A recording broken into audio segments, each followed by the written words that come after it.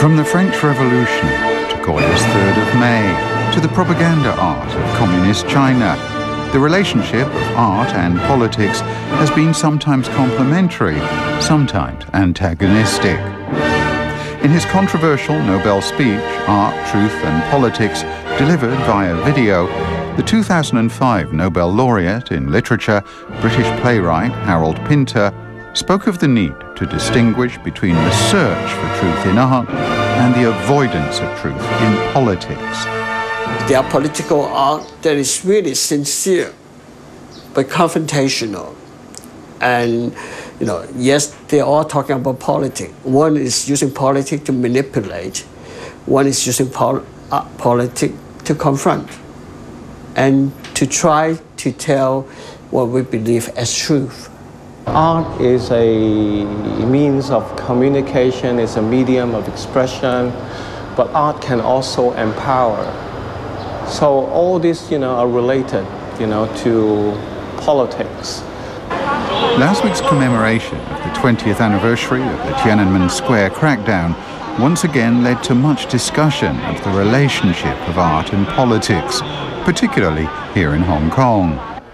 On the 30th of May, Danish sculptor Yen Galschiot, creator of the Pillar of Shame, was, as last year, denied entry to Hong Kong. He and his two sons wanted to be here for the 20th anniversary, for which he'd made two new sculptures.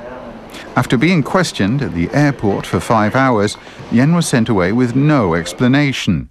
His sons and those sculptures, fragment of a democracy story, got through.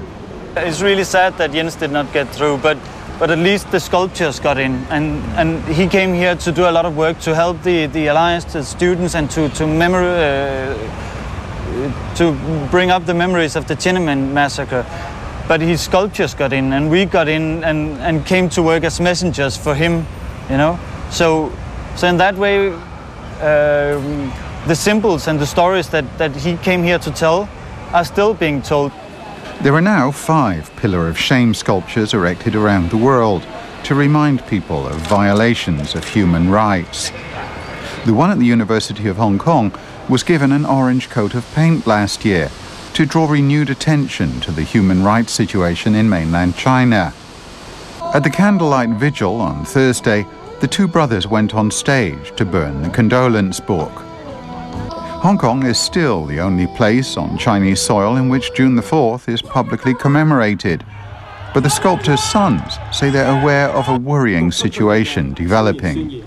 You can also tell the newspapers are allowed to, to write about it and you're allowed to report on it, but, uh, but in, in some way it kind of makes it more scary when you don't know uh, the rules, you don't know uh, what is legal and what, what is illegal. It seems that, that there is a slight pressure from the Chinese uh, side just maybe taking a little bit of freedom of speech, a little bit of democracy every day, or, or I mean, by denying some people to enter and allowing some other people to enter, and I think that's a frightening development also.